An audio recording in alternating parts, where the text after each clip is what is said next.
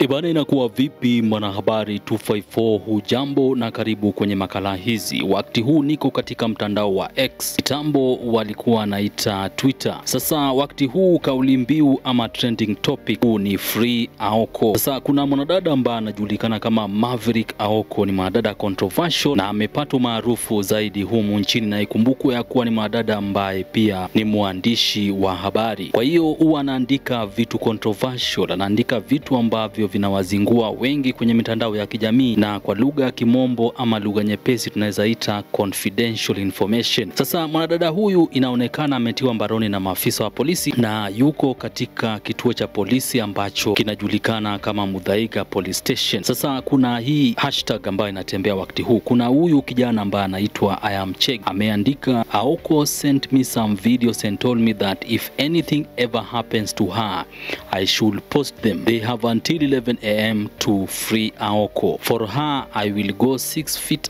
underground. I love her. Akaweka picha Aoko. Kuna mwingine anaitwa Honorable Katiwa amesema free Aoko, akaandika retweet widely, alafu akaweka screenshot ya kila ambacho Aoko aliandika jana.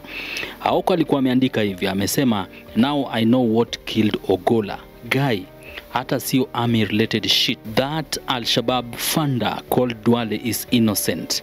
Mazeni this cow worshipping Kalasinga. His real name is Narendra not Devki. Cement making Klinga Ogola went to check West Pokot. He was not inspecting schools. Kuna mgine anaitwa Court OCS ameweka picha Aoko akaandika free Aoko repost widely. Mwingine anaitwa The Kenyan Vigilante amesema don't say anything just like and retweet free Aoko, akaweka picha ya mwanadada anaitwa Aoko. Alafu kuna mwingine anaitwa Mr Right ameandika tweet for free Aoko, akaweka Aoko kama ameshika glasi ya wine hapo, alikuwa anapiga E, sherehe. Wanasema kuwa alikuwa anakula bata. Alafu kuna blogger controversial pia humu nchini ambaye pia yuko na umaarufu mkubwa ambaye anajulikana kama Cyprian Nyakundi at Cyprian underscore Nyakundi. Ameandika blogger Maverick Aoko is currently detained at Mudhaiga police station after being arrested from her home earlier today and questioned by the DCI at their headquarters. Free Aoko.